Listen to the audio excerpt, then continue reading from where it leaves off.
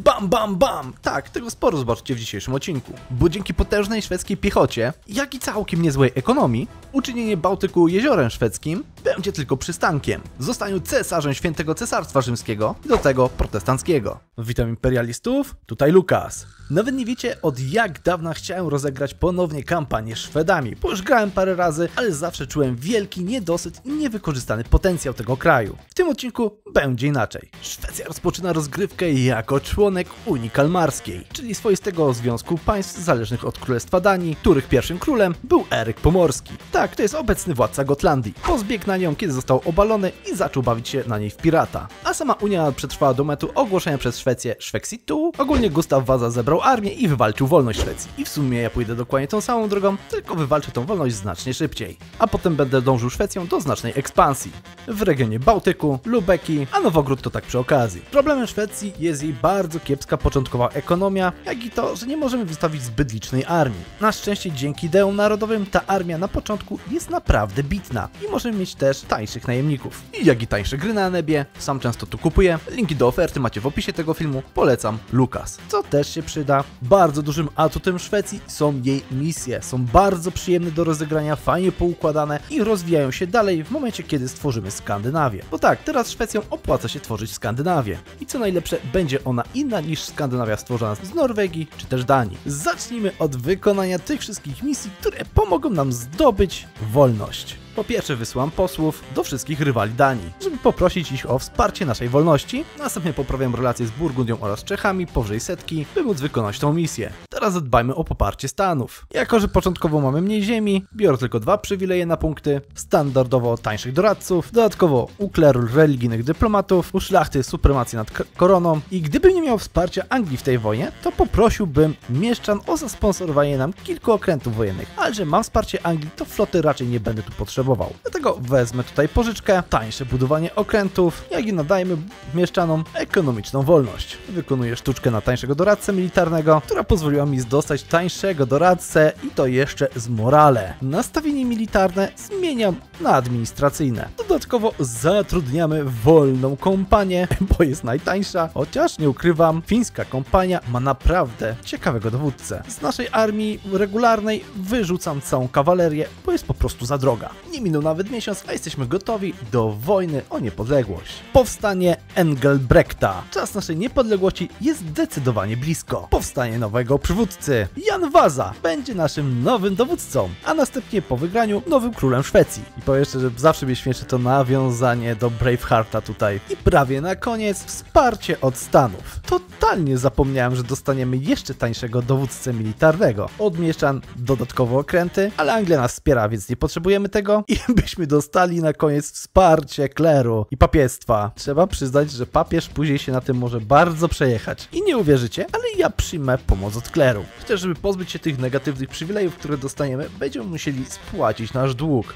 Poprośmy papieża, żeby pobłogosławił naszego władcę, by dostać trochę więcej morale armii. A następnie poproszę o dodatkowe procenty z podatków kościelnych, bo będzie nam łatwiej rozruszać gospodarkę Szwecji. No sorry, tak to działa w tej grze, że podatki są dobre. A z sojusznikami to jeszcze zaczekam. Na pół roku przed wojną oczywiście z powrotem wyłączam utrzymanie fortec jak i armii oraz, bo wiem, że zapomnę o tym, włączam edykty defensywne na naszej granicy z Duńczykami, bo pierwsze uderzenie raczej pójdzie na Norwegię. W teorii. Tak oto w styczniu 47 wysłałem prośbę do wszystkich rywali Danii o wsparcie w wojnie o niepodległość. Ewentualnie mógłbym stanąć sam do tej walki, ale skoro ktoś inny może walczyć za mnie, to czemu z tego nie skorzystać? Wspaniale! Burgundia i Czechy wesprą nas w naszych dążeniach do niepodległości. Armie maszerują na Norwegów, że niczego się nie spodziewają, a ja zapomniałem mieć wolnego dyplomatę, serio. A ja ogłaszam 12 stycznia wojnę o niepodległość. Nie, ma, nie miał mną rządzić Waza? A, doczytałem. Będzie rządzić po tej wojnie. O ile wyrobimy się w tym czasie. Raczej na pewno. Podnieśmy naszą stabilność plus jeden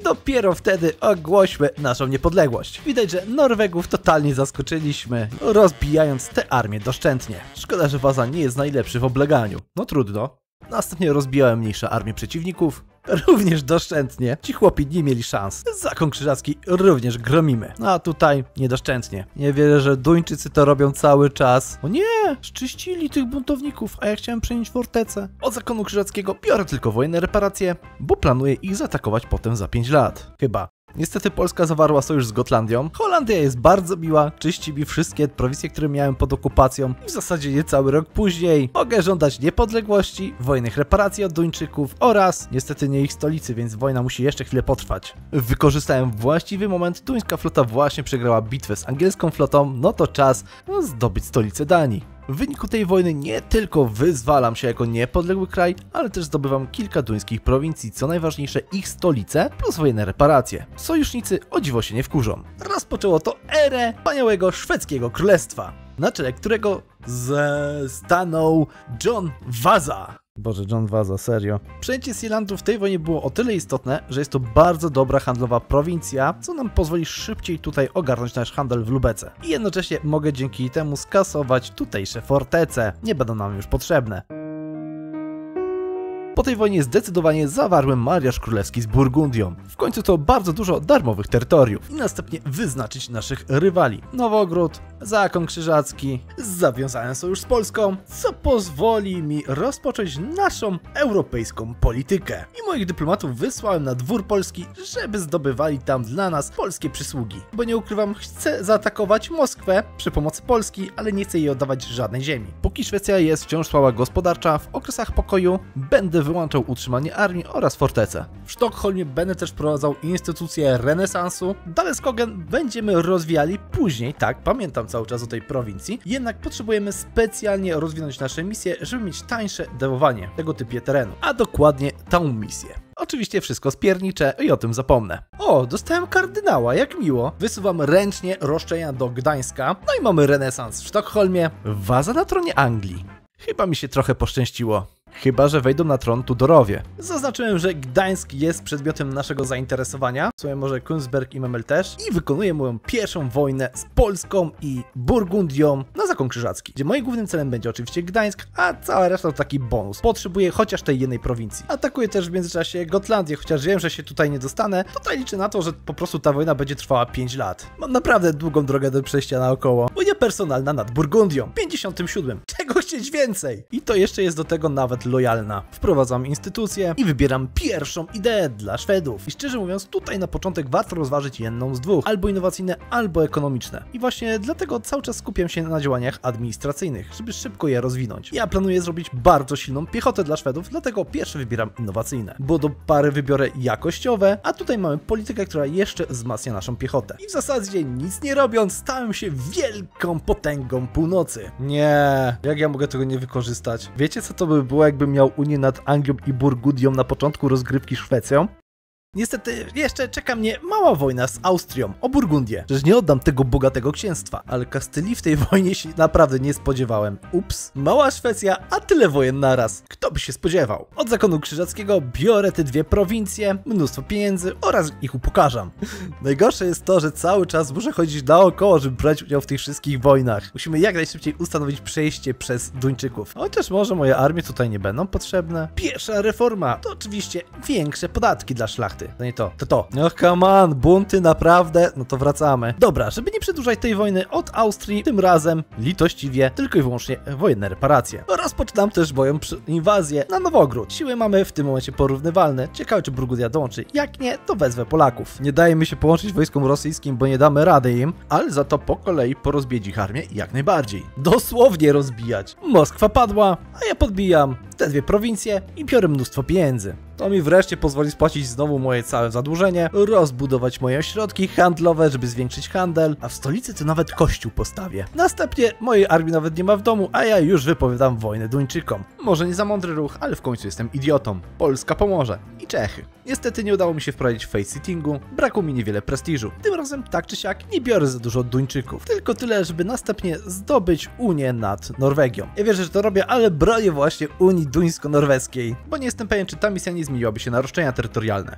A to byłoby słabe. Po rozwinięciu idei innowacyjnych do trzeciego poziomu, co daje mi tańszą technologię, będę do siódmego poziomu rozwijał też technologię administracyjną na bieżąco. Ustanawiam wasalem moim Rygę oraz pozostałości zakonu liwońskiego, co w zasadzie pozwala mi ustanowić przywilej silnych księstw. Wreszcie też mam okazję budowania warsztatów w naszej Szwecji. No, mamy dużo takich wartościowych prowincji. Całe 8. Ale kto powiedział, że Szwecja to jest ten kraj, który łatwo i szybko zarabia? Na moje nieszczęście Iwan III Wielki dość szybko wszedł na tron rosyjski. To niedobrze, ale tak czy siak spróbuję zaatakować Moskal i odzyskać ziemię dla zakonu. Jak i dużo pieniążków. Nie wiem gdzie są wojska rosyjskie, ale wiem jedno, po, posprzedawali trochę fortów. Dzięki czemu mam otwartą drogę na Moskwę. Po wybraniu mojej ulubionej reformy podatkowej, każdej prowincji wprowadzam 50% podatki. Czemu mam wojnę z Polską? No to co mogę powiedzieć? Kończę wojnę z Moskwą, odzyskując cały zakon liwoński i biorąc od niej dużo pieniędzy. Moskwa to zdecydowanie mój ulubiony bank w tym momencie. Czas rozwinąć okno na zachód, wschód i z jakiegoś powodu nagle Unia Polsko-Węgierska się zakończyła. O co tu chodzi? Komuś zmarł król. To jest chyba podsumowanie całej historii Polski. Jeszcze Litwę zaraz stracą. Idę uratować tą Unię, bo szczerze mówiąc to wszystko kiedyś będzie moje. Ja naprawdę chciałem uratować Unię Polsko-Litewską, ale przed chwilą wzięli pokój, a moje wojska już tutaj zdążały. Norwegia chce, moje, żebym poparł jej niepodległość, no ale wszyscy wiemy jaki jest mój realny cel. Ustanowienia Unii nad Norwegią. I zdecydowanie chcę im pokazać szwedzką drogę, co niekoniecznie może im się spodobać.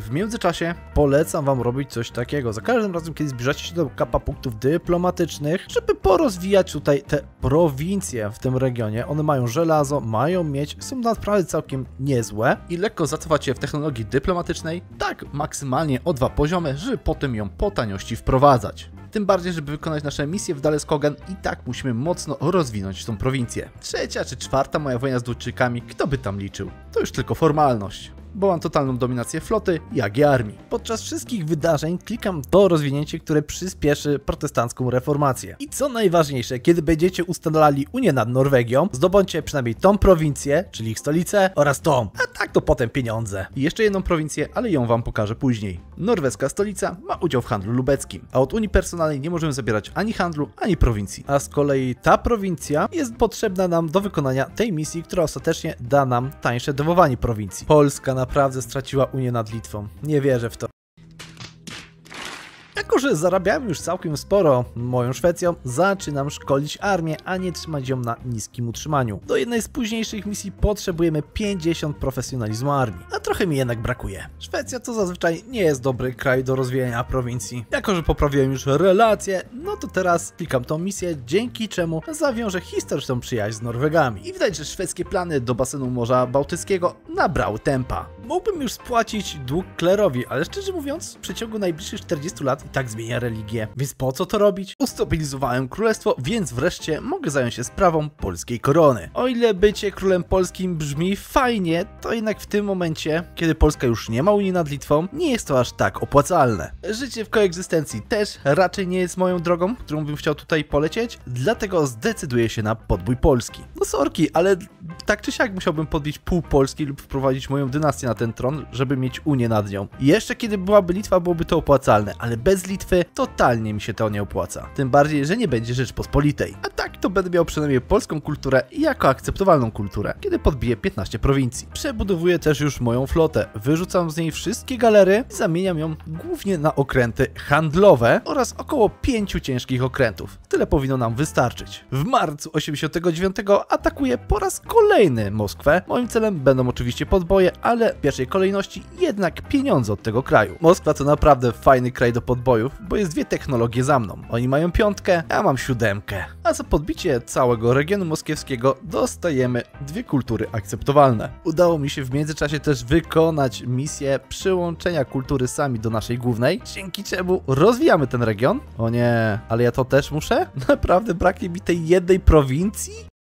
Moskwa w zasadzie poddaje się bez walki, ani jednej bitwy moi wasale robią co chcą. Moskwa padła, dodatkowo niech Moskwa płonie, jako że w kraju zaczynają wybuchać bunty, to ja się stąd zabieram, mocno poszerzając moje granice. Następnie odwiedzę jeszcze Polskę, przynajmniej zdobywając memel, a tak naprawdę zbieram fundusze na rozbudowę Daleskogen. Chociaż tu chyba była jakaś pewna sztuczka, chwila, chwila. Ciekawe, Moskwa ma teraz wojnę z Litwą oraz Wielką Ordą. Francja się włączy, odmawiam. Trochę jednak w Burgundii będzie musiała zdobyć. Jako, że Francji w tej wojnie się jednak nie spodziewałem, no to zwiększam pobór we wszystkich moich prowincjach. No to czas zetrzeć się z francuskimi armiami, które mają bardzo dużą morale, ale za to dużo mniejszą dyscyplinę. Oj, straty są zatrważające. I niestety regencja podczas tej wojny zmarł nasz wspaniały król. A regencja jest żałosna przez kolejne 5 lat. Na szczęście dla mnie z jakiegoś powodu wojska francuskie cały czas dzieliły się na mniejsze armie, które z łatwością niszczyłem. Ale na szczęście szczęście Szwecja ma coś takiego, że podczas regencji nasza szlachta wystawiła przynajmniej lepszego władcę. Udało mi się też zamknąć przez tą fortecę wojska francuskie, wygrać z nimi bitwę, a następnie rozbić je prowincję obok. Dzięki czemu droga na Paryż prawie stała już otworem. Fortecja w Sielandzie została poświęcona jako pułapka na wojska polskie. Dosłownie cała armia ich się tutaj znajduje. Jakby to powiedzieć, Moskwa bardzo źle skończyła po wojnach litewskich i z Wielką Ordą. Paryż padł, ale szczerze mówiąc, ja planuję bardzo ukarać Francję. Ho, udało mi się jeszcze nawet spalić Paryż. Ech, odbili fortecę, trudno, dobra. Zadłużamy maksymalnie Francję, zaatakujemy ją ponownie za 5 lat. Od Polski zdobywam następujące prowincje, żeby wypuścić tutaj wasala Mazowsze. Jako, że Francja wyszła bardzo pokiereszowana po tej wojnie, a moje wojska i tak znajdują się obok, atakujemy Szkocję przy pomocy Anglii, żeby zdobyć Orkney. Francja ich broni. W międzyczasie tak czy siak zajmie się sprawami gospodarczymi w naszym kraju, bo to już jest ten moment, w którym możemy nie tylko zacząć go rozbudowywać w manufaktury, bo ich naprawdę możemy sporo postawić, ale też wynajdziemy bardzo szybko te manufaktury na 11 poziomie technologii. Wow, Francja totalnie zatopiła moją flotę. Teraz co to wydarzenie tutaj robiło? Możemy rozwinąć poziom kopalni o 1, dostać manufakturki, które i tak zaraz wynajdziemy, albo zwiększyć produkcję o 4. No raczej nie. To ja poproszę, żeby mi zwiększyli poziom jednak tej kopalni o 1. I progres do poziomu trzeciego został zachowany. Taka mała sztuczka. Czekaj, to jest progres jakbym płacił za drugi poziom? O nie! Dosłownie wydałem 2,5 tysiąca dukata tylko. To jest zbyt dobra sztuczka. No, ale trzeba przyznać, że to znacząco zmniejszy koszty naszej artylerii oraz zwiększy nasz income. Z tej jednej prowincji zarabiamy 12 golda. Ponownie zabieramy od Francji pieniążki. Niestety tylko i wyłącznie, bo ta prowincja bardzo dużo agresywnej ekspansji kosztuje. Nic? Halo? Zdobyłam przyczółek w Szkocji. Tak, będę ją podbijał dalej. I szczerze mówiąc, to jest mi tylko po to, żeby tak na wszelki wypadek, jeżeli będę miał okazję przejąć władzę w Anglii, to tu będę miał gdzie przewieźć moje wojska. Jednocześnie na świecie pojawił się protestantyzm. Na moje nieszczęście bardzo szybko pojawiły się trzy centra, kiedy toczyłem wojnę. Mimo wszystko zmieniam moją religię na protestancką i od razu wykupuję obrońcę wiary protestanckiej, żeby jak najszybciej nawracać mój kraj. Tuż też przed końcem ery odkryć, no to palę development we wszystkich moich prowincjach administracyjne, bo w kolejnej erze podatki już nie będą aż tak opłacalne. Militarne reformy Gustawa Adolfa. Pójdziemy totalnie pod rozwój naszej armii. Chociaż alternatywy mogą być również ciekawe. Trzeba zagłębić się dalej w region rosyjski. Oh my god, co tutaj zrobiono Polsce, nie. Nieważne, ja ruszyłem, żeby odbić terytoria dla Mazowsza i następnie ciągnąłem Litwę do wojny. I tuż przed początkiem nowej ery reformacji rozpoczynam nową złotą erę Szwecji. A w kolejnej erze jednak dzięki tej misji będziemy mogli szybciej nawracać nasze prowincje. Ej, dodali to rozwiązanie dla wszystkich. Wow. Hmm, może czas zrobić e, Szwecję jako Nors. My Szwecją staniemy jednak po stronie reformacji, czyli wybieramy dwójkę, panie. No chyba, że chcecie iść w tolerancję religijną. I w sumie, jakbyśmy to poszli z ideami humanistycznymi, mielibyśmy naprawdę tolerancyjny kraj. Ale bardzo mnie kusi zostać może protestanckim cesarzem Niemiec. W Uppsali postawiliśmy też uniwersytet. Skanę również. Jako trzeciej ideę wybrałem idee ofensywne, chociaż tutaj dobrą alternatywą byłyby ekonomiczne albo religijne. Głównie dla dyscypliny oraz prędkości oblegania fortec. Limit wojska też będzie użyteczny, cała reszta jest trochę bezużyteczna. No i wreszcie zaczynam mieć naprawdę mocnych generałów. Dobra, niestety muszę tutaj wykonać pewien trik. Wypuścić Danię z jednej prowincji, uczynić ją potem militarnie moim wasalem. A to dlatego, że niestety Lubeka to jest bardzo drogi region do podboju i wolę te terytoria zdobyć poprzez odbicie dla Duńczyka. Tym bardziej, że okolicznym księstwom moje podboje za bardzo się nie podobają. Wykorzystując krótki okres pokoju, rozwiązałem problem chłopów w naszym kraju. Przez co zyskaliśmy naprawdę mocne bonusy do produkcji zboża, ryb oraz krówek. Mogę też przeprowadzić dalsze reformy wazy, polegające na centralizacji władzy w naszym ręku. Duńczycy stają się naszymi wasalami. Dokończyłem też rozbudowę administracyjną naszego kraju, dzięki czemu mamy teraz bardzo mocną armię. Prowincje znajdujące się w regionie handlowym Krakowa dodaję do kompanii handlowych, jeszcze wasalizuje pokojowo Kraków, bo czemuż by nie. I zaszła pewna drobna zmiana planów, bo nagle Austria zaczęła bronić Lubeki przed moimi zakusami, dlatego ja zaatakuję Lubekę, a skupię się na nawróceniu na jedną właściwą religię tych wszystkich krajów, może oprócz Litwy. Czechy niech pomogą. Oj, nie ma co. Litewska dyplomacja dała pupy, bo mam o niej teraz pełną informację. Bez skrupułów wykorzystuję to do oblegania ich wszystkich prowincji. Pierwsze rozwinięcie z ery to zmniejszenie kosztów prowincji z inną religią niż nasza. Na szczęście pomniejsze księstwa bez problemu zmieniają religię na protestancką. Gdzie ucieka armia cesarza? No gdzie ucieka? Chodźcie tu. Armia papistów już nie istnieje, a sama Austria Habsburgów zapłaci właśnie gigantyczną cenę za dołączenie do tej wojny, ponieważ Habsburgowie właśnie stracili prawo do wielu włości. Czas na kolejne reformy militarne dla naszej armii i dzięki temu będziemy mogli rekrutować specjalne jednostki. Karolingowską piechotę, która jest zadziwiająco słaba. Uzyskałem bardzo dużo terytoriów dla Duńczyków, co w zasadzie doprowadziło niby do upadku Danii, ale nie, teraz jeszcze nie chcę klikać tej misji, dopiero kiedy integruję Danię. No i niestety to już koniec Królestwa Polskiego, które jest teraz pod całym panowaniem Szwedów, Węgrów oraz Niemców. Rozpoczynam też wielki proces industrializacji Szwecji, mianowicie w każdej prowincji z żelazem czy miedzią muszę mieć manufakturę. Tak tutaj jest to napisane. I stało się, okazja! Atakujemy Anglię, u, upadek Wiednia, zdobyliśmy Unię nad Anglią i prawie nikogo to nie obchodzi. Nie wierzę to, że zamiast wojen z Moskwą będę toczył wojny z hordami tutaj.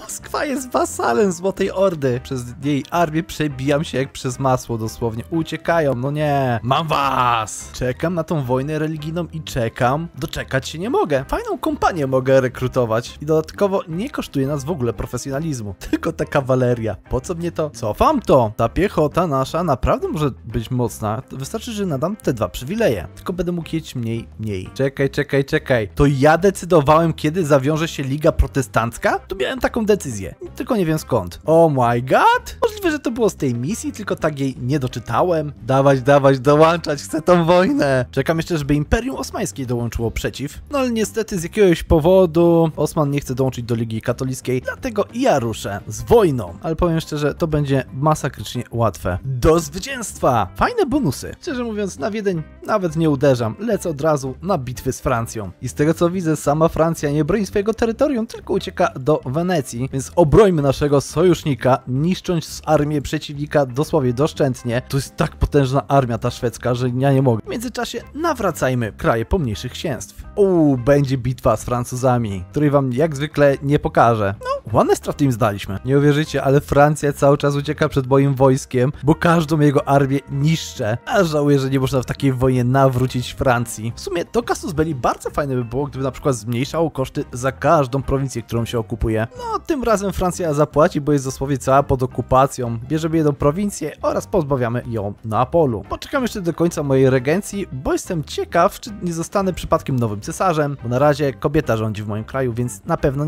nadal na mnie nie głosują. Szkoda. Więc wymuszam religijną supremację protestantów oraz zbijam religię Austrii na protestantyzm. To była naprawdę krwawa wojna. Chociaż nie wiem jakie były moje straty, bo nie mogę kliknąć tarczy halo. No i poszli po rozum do głowy, stałem się nowym cesarzem imperium. I teraz poprawiam relacje ze wszystkimi krajami z naszą religią. Wow. Wojnę rozpocznę od odzyskania ziem dla mnie. I w sumie w tym momencie możemy dołączyć do imperium również, co nie jest złym pomysłem. Tylko czemu oni na mnie nie głosują? To jest zdecydowanie facet. Dominująca religia to protestantyzm i nagle zaczęli na mnie głosować. Nie wiem dlaczego. Przecież prowadźmy pierwszą imperialną reformę, chociaż na razie nam jeszcze spada, ale to dlatego, że mamy trochę ziemi cesarstwa do odbicia i kilka heretyckich państw do nawrócenia, ale to się nie opłaca robić, póki centra nie znikną. W pierwszej kolejności uderzono Imperium Osmańskie, by odzyskać prowincję cesarstwa. Coś mi zdecydowanie za łatwo idzie. Zdecydowanie za łatwo. Żałosne Imperium. Wojna z łatwością wygrana, ja praktycznie bez strat. To jest chyba twarda miłość. Ja im okupuję stolicę, a oni mnie kochają. Wunderwa! Staliśmy się hegemonem Europy Wschodniej. Jakimś cudem znikły wszystkie centra reformacji. Pięć lat temu jeszcze były. Przy okazji wpadł mi pewien achievement, aż nie wierzę, że nie miałem go wcześniej. Polska wróciła na mapy świata narodziny skandynawskiego imperium, jak i zdominowałem całe wybrzeże Bałtyku. A to narodziny skandynawskiej nacji. Dla przypomnienia, tak wyglądały szwedzkie idee, a tak wyglądają skandynawskie. Dużo lepsze